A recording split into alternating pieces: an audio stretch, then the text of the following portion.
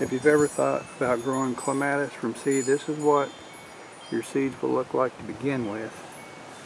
But they'll dry out even more. And I almost waited too long to look, but we have some down on the ground here.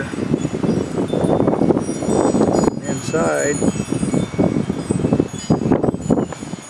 there's some dried up seeds forming. These are dry enough to store. But that's what you look for. I'll show you more when I get time.